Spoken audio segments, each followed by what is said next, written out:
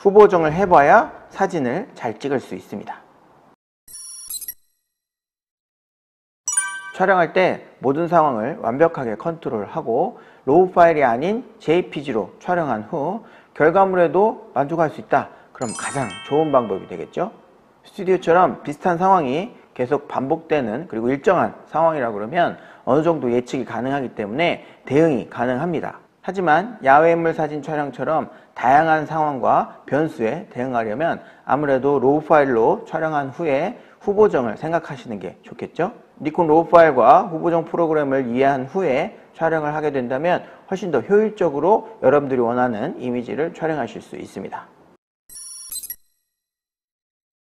RAW 파일로 후보정을 한 이유는 뭐가 있을까요? 여러 가지가 있겠지만 그 중에서도 대표적으로 세 가지를 들 수 있습니다. 첫 번째가 노출, 두 번째가 white balance, 세 번째가 picture control입니다. 후보정은 촬영 시에 부족한 점을 보완해주는 과정이 있고 새로운 creative를 적용하는 과정이 있습니다. 그 중에서도 부족한 점을 보완해주는 과정은 실제로 후보정을 해보면서 아, 촬영할 때는 이렇게 촬영하면 이런 결과물들이 나오겠구나 라는 반성을 통해서 다음에는 그렇게 반복적으로 실수를 하지 않게끔 해주는 데 목표가 있겠습니다. 또한 RAW 파일과 후보정만으로는 완벽하게 해결할 수 없다는 점을 분명하게 알고 촬영할 때 반드시 내가 체크해야 되는 부분이 어떤 것이 있는지를 명확하게 알 수 있기 때문에 후보정을 반드시 해야 되는 겁니다. RAW 파일과 후보정의 한계를 알고 촬영할 때 반드시 여러분들이 고려해야 되는 사항들에 대해서 후보정을 해보면 체크가 되기 때문에 후보정을 해야 여러분들이 사진을 찍는 실력도 좋아질 수 있다라고 말씀드릴 수 있겠습니다.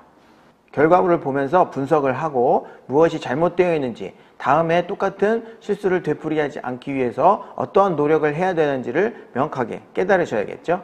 몇 장의 사진을 보면서 상황별로 어떻게 대응하면 좋은지와 후보정으로 살릴 수 없는 부분 그리고 후보정을 살릴 수 있다면 어떤 방식으로 하는 것이 좋은지에 대해서 안내해 드리도록 하겠습니다. 첫 번째 사진은 맑은 날 직사광선에서 촬영한 사진을 보도록 하겠습니다. 전체적으로 컨트라스트가 굉장히 강해서 밝은 곳과 어두운 곳의 노출 차이가 심한 것을 볼 수 있습니다. 그림자의 경계 부분도 굉장히 명확하고요. 특히 이 코 밑부분에 있는 이 그림자가 굉장히 심하게 지어 있는 것을 볼 수 있습니다. 이렇게 노출 차이가 심할 때 태양이 직사광선으로 내리쬘 때나 플래시를 사용할 때 이렇게 강한 느낌이 들 때는 어떻게 좀 보완을 해줘야 되는지 살펴보도록 하겠습니다. 우선은 노출 보정 버튼을 눌러서 확인을 해볼 텐데요. 실제로는 노출이 적정 노출로 플러스 마이너스 0으로 되어 있는 상태입니다. 그래서 얼굴의 노출을 보면 그렇게 어둡거나 밝거나 하지는 않은 적당한 정도로 볼 수가 있겠습니다. 그림자 부분이 상당히 어두워서 상대적으로 얼굴이 좀 밝아 보이는 느낌이 있습니다. 우선은 노출은 그대로 두고 Active D-Lighting을 바꿔보도록 하겠습니다. off가 되어 있는데요. 지금 태양이 굉장히 강하기 때문에 강하게를 적용시켜 보도록 하겠습니다. 네, 이렇게 하면 지금 어두운 부분의 노출이 많이 밝아진 것을 느끼실 수 있을 겁니다. 여기 노출 옆에 있는 체크 표시를 눌러서 적용 전과 적용 후를 비교해 볼 수 있습니다. 느낌이 많이 달라지죠? Active D-Lighting만으로 해결이 안 되는 부분이라고 보시면 되겠고 white balance는 지금 크게 잘못된 부분이 없기 때문에 넘어가겠습니다. Picture Control을 바꿔보도록 하겠습니다. 제가 촬영할 때는 인물로 세팅을 해놓고 촬영을 했습니다. 현재는 표준으로 바꿔놓은 상태인데 여러분들한테 비교를 해 드리려고 여기 표준으로 해 놓은 겁니다. 이 부분을 다시 인물로 바꿔보겠습니다. 조금 전에 표준으로 했을 때와 비교를 해보면 조금 더 부드러운 이미지로 바뀌는 것을 보실 수 있습니다. 표준이 조금 컨트라스트가 강하죠? 네, 인물로 바꾸면 조금 더 부드러워집니다. 이 상태에서 이 밑에 있는 세부 디테일 항목들을 조절하면 여러분들이 좀 더 부드러운 이미지로 만들어 주실 수 있는데요. 선명도 부분도 좀 더 부드럽게 왼쪽으로 이동을 해주고 컨트라스트나 밝기도 적당하게 조절을 해준다 그러면 훨씬 더 이미지가 부드러운 상태로 바꿔주실 수 있습니다. 비교를 한번 해볼까요? 조정 전후 왼쪽 사진에 비해서 오른쪽 사진이 많이 부드러운 느낌으로 바뀐 것을 보실 수 있을 겁니다. 보신 것처럼 태양이 굉장히 강한 날 직사광선에서 촬영을 하게 되면 그림자가 명확하게 생겨서 이 부분을 좀 해결하기가 좀 어렵습니다. 그래서 지금 약간 빛이 어, 한쪽 방향에서 와서 그림자가 반대쪽으로 지는 그런 사진이 촬영이 되는데 오히려 이럴 때는 그냥 그림자 없이 코 밑에 그림자 없이 정면에서 오는 빛으로 촬영을 하시거나 전에 말씀드린 것처럼 그림자로 이동해서 촬영하는 것이 훨씬 더 표정도 부드럽고 자연스러운 이미지를 촬영하실 수 있게 되는 겁니다. 네, 이번 사진은 아예 그늘로 들어와서 촬영한 사진인데요. 얼굴은 좀 더 부드러워졌고 그림자도 확산이 되는 그런 이미지로 촬영이 됐습니다만 전체적으로 좀 어둡고 입체감이 좀 떨어질 수 있고요. white balance가 약간 푸른 느낌이 드는 사진이 되었습니다. 요 몇 가지를 보완을 해 보도록 하겠습니다. 우선 노출은 실제 노출 값을 약 한 stop 정도 올려주게 되면 좀 더 밝은 이미지가 됩니다만 이렇게 하셔도 되고요.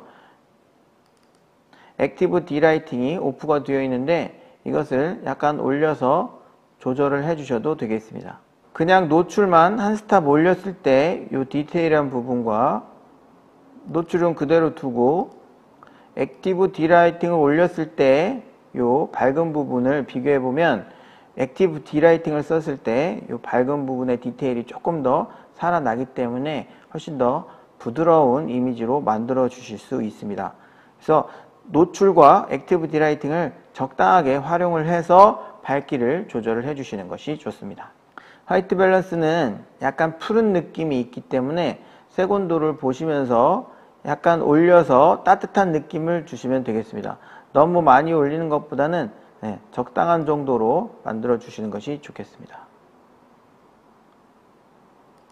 픽처 컨트롤인데요. 픽처 컨트롤은 촬영 시에 인물로 촬영을 했기 때문에 굉장히 부드러운 이미지로 촬영이 됐는데 이런 그늘에서는 입체감이 좀 떨어질 수 있어서 오히려 인물보다 표준으로 주게 되면 좀 더 명확한 또렷한 이미지로 촬영하실 수 있습니다.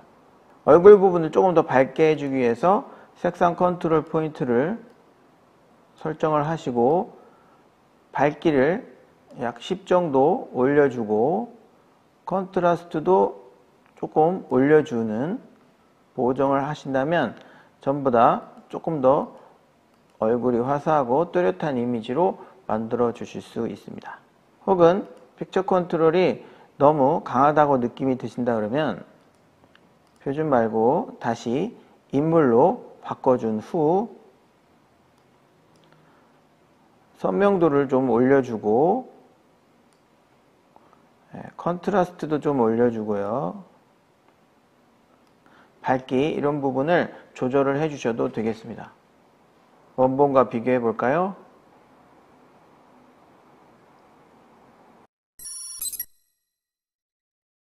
네, 이번 사진은 역광 사진인데요. 얼굴은 좀 어둡고 뒷배경 일부는 어둡지만 일부는 또 밝고 노출 차이가 심한 그런 사진이 되겠습니다. 과연 후보정으로 이런 사진을 살릴 수 있을까요? 우선은 노출을 좀 밝게 해보겠습니다. 얼굴이 너무 어둡기 때문에 한 스탑 반 정도로 올려주게 되면 전체적으로 밝아지면서 어두운 부분도 밝아졌지만 이 밝은 데는 더 밝아져서 좋은 사진이 되지 않았습니다. 가급적이면 이쪽 부분의 노출은 그대로 유지하면서 어두운 부분만 밝아져야 되겠죠. Active D-Lighting을 매우 강하게 one을 넣어 보도록 하겠습니다. 얼굴이 좀 밝아지고 배경도 조금 밝아지긴 했지만 극단적으로 밝아지진 않아서 전보다는 나아졌습니다. white balance는 특별히 안 만져도 될 것 같고요. Picture Control 값이 인물 되어 있는데 표준으로 바꿔보겠습니다. 색상 컨트롤 포인트를 활용해서 얼굴 부분의 밝기를 조절해 보겠습니다.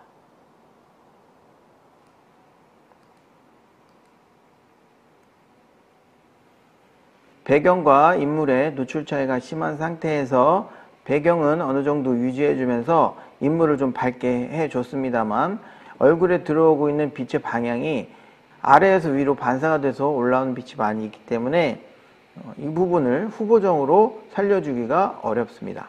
후보정을 통해서 어두운 부분의 밝기를 어느 정도 올려주는 것은 가능합니다만 지금 보시는 것처럼 얼굴에 들어오는 빛의 방향, 느낌 자체를 바꿔줄 수는 없습니다. 그리고 아무리 보완을 해줘도 부족한 부분이 상당히 있는 것을 보실 수 있습니다. 이 부분을 해결하는 것이 바로 반사판과 플래시가 되겠습니다. 플래시를 활용해서 얼굴에 충분히 밝은 빛을 주게 되고 빛의 방향도 결정을 해줄 수 있기 때문에 역광시 인물을 좀더 좋은 이미지로 만들어주기 위한 가장 좋은 방법은 플래시와 반사판이라고 할 수 있겠습니다. 이 사진은 플래시를 활용해서 촬영한 사진이 되겠는데요. 뒷배경의 노출은 그대로 유지가 되면서 얼굴 쪽으로 빛이 들어가서 훨씬 더 좋은 이미지가 되었습니다. 조금 보완을 해줘 볼까요? white balance 조금 더 얼굴에 따뜻한 느낌을 주기 위해서 살짝 올려주도록 하겠습니다. Picture Control의 경우에도 인물로 촬영이 잘 되어 있는데요. 표준으로 바꾸게 되면 좀 더 강한 이미지로 만들어 줄 수 있고 네, 인물 상태에서도 밑에 있는 세부 항목들을 조절을 해서 좀 더 내가 원하는 이미지로 만들어 주실 수 있습니다.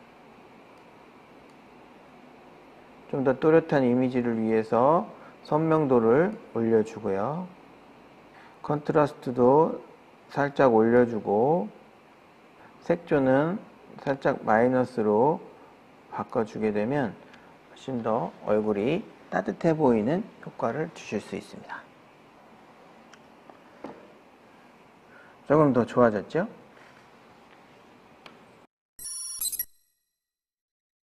사진은 잘 촬영이 되었는데 얼굴을 보면 오른쪽 부분이 밝고 왼쪽이 조금 더 어둡습니다. 빛이 오른쪽에서 오고 있다는 의미가 되겠죠. 그러면서 입체감이 아주 잘 살고 있습니다. 야외에서 잘 찾아보면 숲으로 들어갔을 때 한쪽은 밝고 한쪽은 어둡게 촬영이 되는 아주 입체감이 잘 사는 그런 장소가 있습니다. 잘 찾아야겠죠? 이 사진을 좀 더 좋게 보정해 보도록 하겠습니다. 우선은 노출인데요. 노출을 다 올리게 되면 이 적정으로 맞은 부분까지 같이 올라가니까 노출 보정을 하지 않고 Active D-Lighting은 강하게 주도록 하겠습니다. 밝은 곳은 그대로 있고 어두운 곳만 밝아지고 있죠. white balance는 아무래도 조금 따뜻하게 올려줬을 때 피부가 좀 더 온화한 느낌을 줄 수 있습니다. Picture Control인데요. 지금 표준으로 촬영된 상태인데 인물 값으로 바꾸면 조금 더 화사해지는 느낌을 주실 수 있습니다. 선명도 좀 올려주고 contrast도 살짝 올려주고요. 채도는 마이너스 쪽으로 옮겨주겠습니다. 비교해 볼까요? 왼쪽이 원본이고 오른쪽이 보정본입니다. 노출과 white balance Picture Control만으로도 훨씬 더 보기 좋은 이미지로 바뀌었습니다. 포토샵이 만능은 절대 아니죠.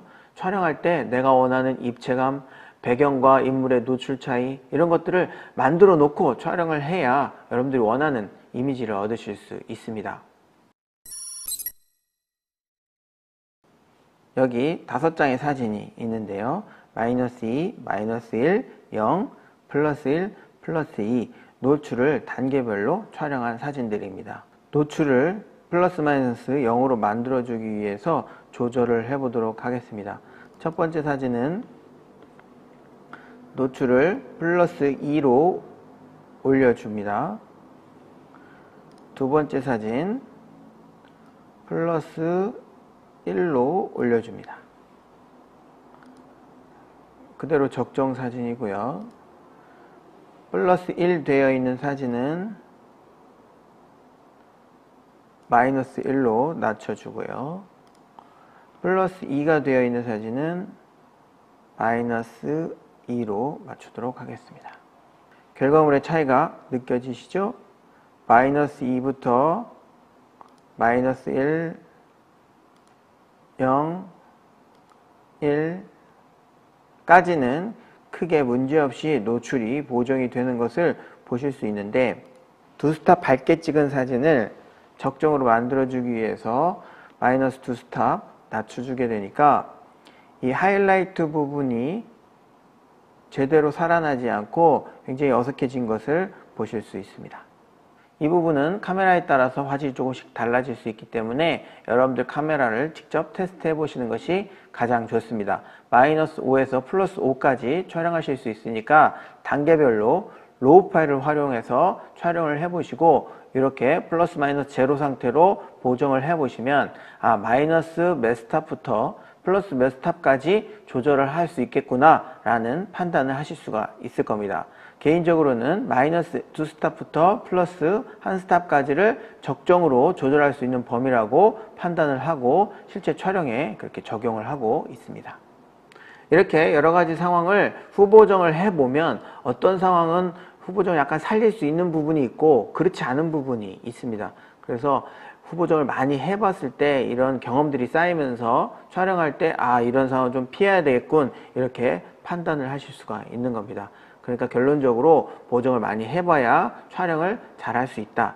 그리고 아까 보신 것처럼 Active D-Lighting이라든지 Picture Control 이런 부분은 실제로 촬영할 때 느끼는 부분보다 이렇게 후보정을 좀 해봐야 피부로 체감이 되는 부분이 많이 있으니까 다른 프로그램보다는 Capture NX-D 그리고 ViewNX-i를 활용하셔서 니콘 카메라의 소프트웨어를 잘 사용하시게 되면 촬영을 좀 더 내가 원하는 세팅을 카메라에서 바로 하셔서 원하는 결과물을 얻으실 수 있다. 이렇게 말씀드릴 수가 있겠습니다. 지금까지 야외인물 촬영 노하우에 대해서 배워봤는데요. 어떤 것들이 있었는지 다시 한번 떠올려 볼까요? 제일 처음 이론 부분에서는 총 9가지에 대해서 설명을 해드렸는데 제일 처음에 카메라와 렌즈의 선택, 빛의 선택, 배경의 선택, 카메라와 인물의 촬영 거리, 카메라의 높이, 구도, 포즈, 표정, 소품 이렇게 되겠습니다. 그 다음에는 여러분들이 야외 역광 촬영할 때 플래시와 악세사리를 활용해서 FP 촬영 혹은 무선 증등 촬영으로 인물을 좀 더 부각시키는 좋은 사진을 촬영하는 방법에 대해서 안내를 해드렸고요. 마지막으로는 후보정으로 살릴 수 있는 부분과 그렇지 못한 부분을 명확하게 알고 촬영에 임해야 된다. 그리고 촬영을 준비를 잘 해야 된다. 이런 취지로 설명을 해드렸습니다. 신경 쓸 부분이 상당히 많이 있죠. 이 부분은 계속 경험을 쌓으면서 실수를 줄여가시는 것이 가장 좋은 방법이 되겠습니다. 멋진 인물 사진 촬영하시길 바라겠습니다. 지금까지 니콘스쿨의 교장 김주현이었습니다. 감사합니다.